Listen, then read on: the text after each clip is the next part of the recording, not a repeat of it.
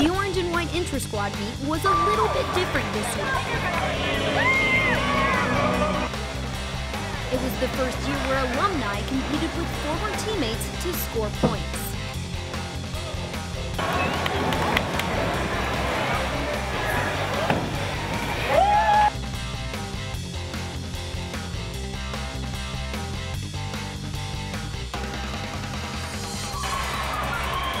While it's fun to see former teammates, the meet also helps prepare for the year.